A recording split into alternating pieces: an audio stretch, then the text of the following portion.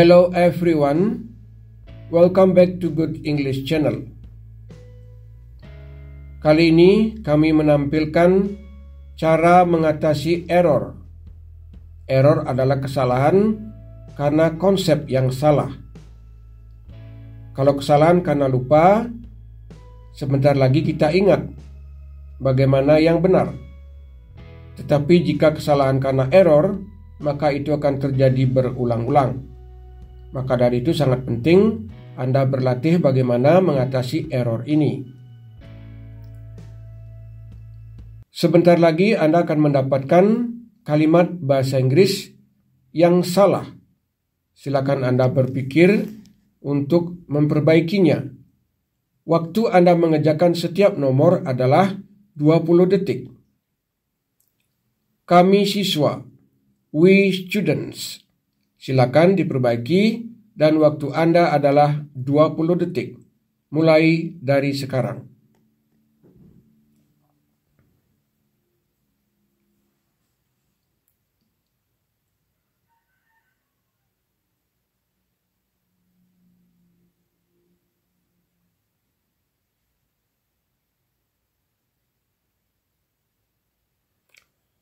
Bagaimana kalimat Anda? Silakan dicocokkan dengan kalimat ini. We are students. Kalimat we students ada kesalahan. Pada kalimat itu belum terdapat kata kerja atau verb. Lalu kata kerja apa yang kita gunakan? We adalah kata benda, students adalah kata benda. Lalu kita menggunakan are. Are adalah bentuk to be. To be adalah kata kerja yang tidak memiliki arti. Begitu kita menggunakan to be are, we students tidak berubah arti. Namun, susunannya menjadi kalimat yang benar. We adalah subjek, are adalah verb atau kata kerja, students adalah objek. Sudah? Sekarang kita lanjutkan ke nomor dua. Saya tidak lapar. I no hungry. Silakan dikerjakan.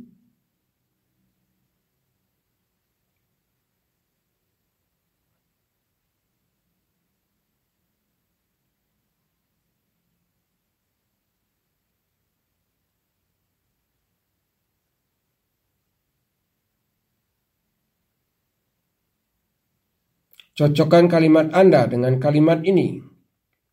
I am not hungry. I no hungry, kesalahannya kalimat ini belum memiliki kata kerja. Sehingga kata kerja ditambahkan dengan be, yaitu am, untuk subjek I. I am. M adalah sebagai pengganti kata kerja yang tidak memiliki arti.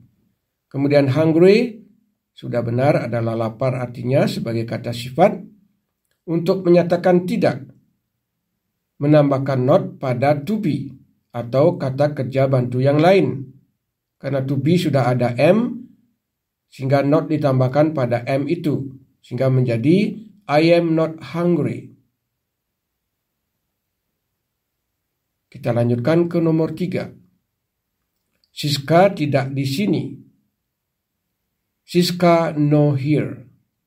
Silakan dikerjakan.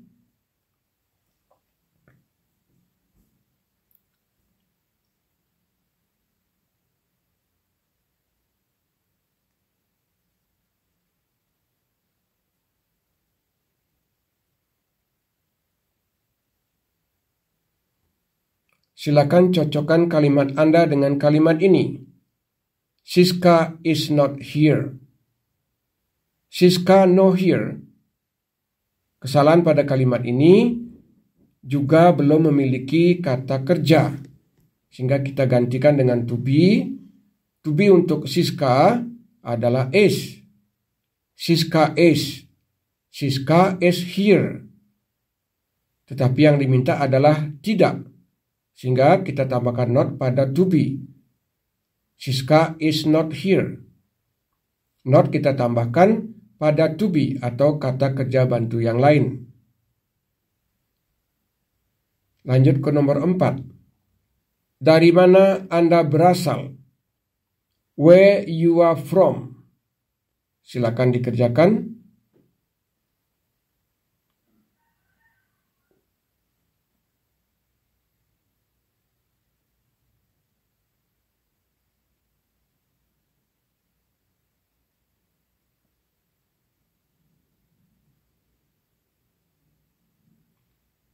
Cocokkan kalimat Anda dengan kalimat ini. Where are you from? Kalimat tanya where you are from terjadi kesalahan pada susunan antara to be dengan subjek. Dalam kalimat tanya, to be atau kata kerja bantu ada di depan subjek. To be atau kata kerja bantu ada di depan subjek. Itulah susunan kalimat tanya. Sehingga where are you from? Where adalah kata tanya, are adalah to be, you adalah subjek. Where are you from? Menanyakan Anda berasal dari mana atau dari mana Anda berasal. Itulah susunan kalimat tanya yang benar. Kita lanjutkan ke nomor 5. Gambar-gambar itu indah. Those pictures are beautiful. Silakan dikerjakan.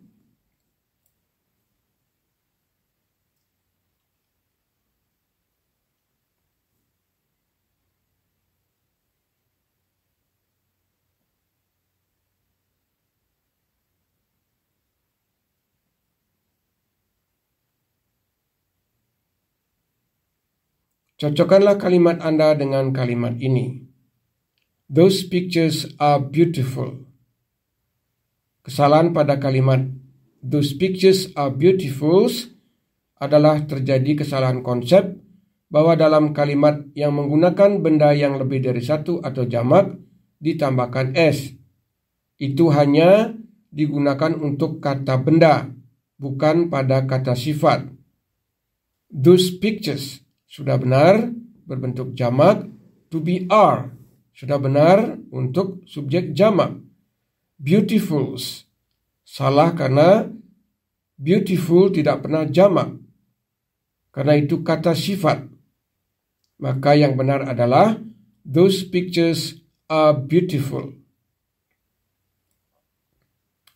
Lanjutkan ke nomor 6 ini kamus kamu This is you dictionary. Silakan dikerjakan.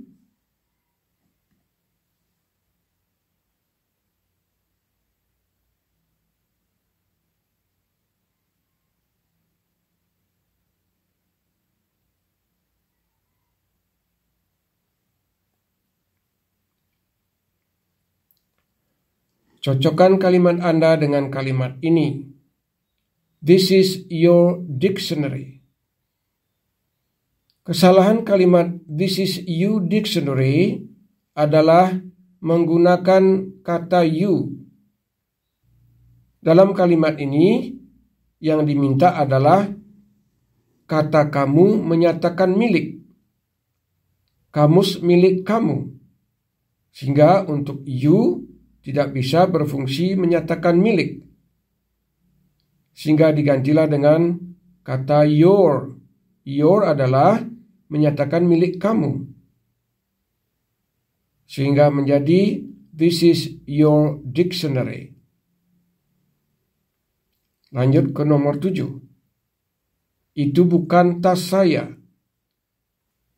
It not my bag. Silakan dikerjakan.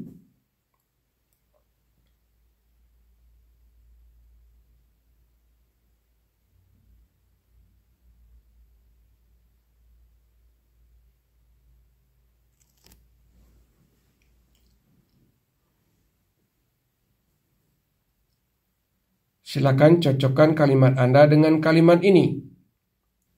It is not my bag. Kalimat it not my bag belum memiliki kata kerja. Sehingga tambahkanlah kata kerja atau kata kerja pengganti. It is.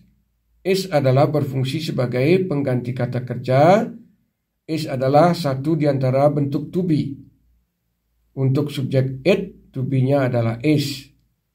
It is my bag. Kata my sudah benar menyatakan milik saya. Untuk mengatakan tidak atau bukan, Letakkanlah not setelah to be atau kata kerja bantu yang lain. It is not my bag. Itulah susunan yang sudah benar. Sudah ada to be sebagai kata kerja dan not sudah benar diletakkan setelah kata to be. Lanjutkan ke nomor 8. Tuan Chen punya kucing coklat. Mr. Chen have brown cats. Silakan dikerjakan.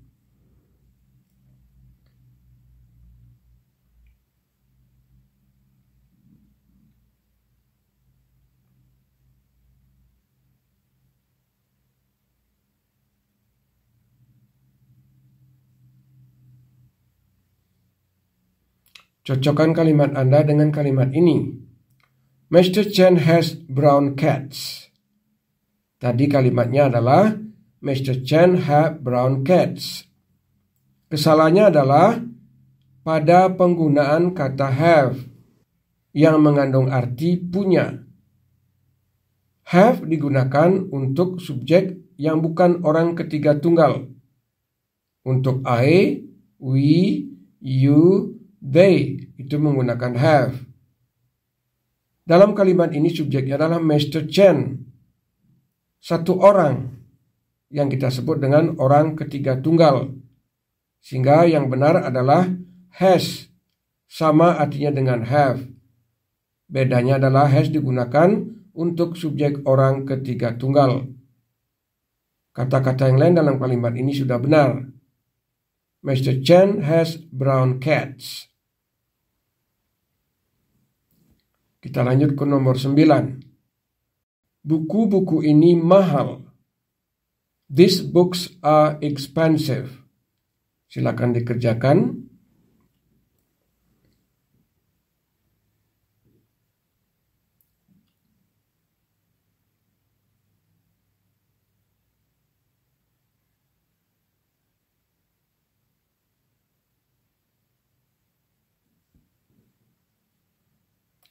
Kita lihat sekarang kalimatnya yang benar. These books are expensive. Dapat Anda lihat? Ya, kesalahannya pada kata this. This books. Di situ tidak benar kata this digunakan untuk benda yang jamak. Karena this adalah menunjukkan ini untuk benda tunggal. Kalau bendanya jamak atau lebih dari satu, gunakanlah these. These books are expensive. Itu yang benar. Kita lanjutkan ke nomor 10. Bali adalah sebuah pulau. Bali is a island. Silakan dikerjakan.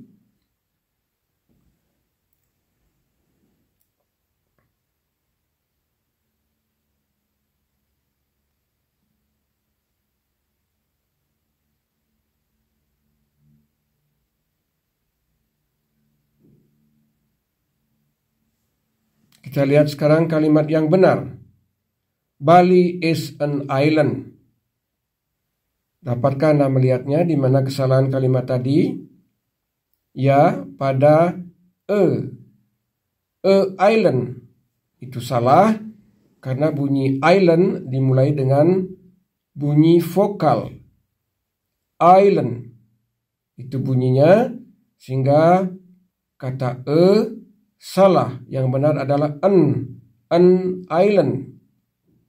Untuk e digunakan kata-kata yang mulai dengan bunyi konsonan. A book, a pen. Begitu ya. An island. Itulah yang benar karena bunyi paling depan untuk kata yang mengikuti an adalah bunyi vokal. Bali is an island. Mudah-mudahan dengan latihan tadi, konsep bahasa Inggris Anda sudah menjadi perbaikan bagi yang Anda masih belum jelas memahami. Sedangkan bagi Anda, Anda yang sudah memahami dengan baik, tentu tadi bisa mengerjakan dengan cepat dan benar. Para sahabat semuanya, di mana pun Anda berada, dengan senang hati kami menemani Anda belajar bahasa Inggris. Yang tidak boleh Anda lupakan adalah apabila Anda ingin benar-benar bisa berbahasa Inggris, jangan berhenti di tengah jalan. Lanjutkan terus sampai benar-benar bisa. Kami sudah suguhkan berbagai materi pembelajaran yang bahkan berurutan dari edisi 1 dan seterusnya untuk membawa Anda lebih mudah belajar bahasa Inggris dan mempelajari tahap demi tahap. Jangan sampai Anda berhenti, sehingga pengetahuan Anda akan hilang dan cepat Anda melupakannya. Para sahabat semua yang berada di Indonesia serta yang berada di negara-negara lainnya, salam terbaik dari kami Good English Channel. Mudah-mudahan Anda semua sehat walafiat serta sukses dalam semua aktivitas Anda sehari-hari. Dan kita akan jumpa lagi pada video pembelajaran berikutnya.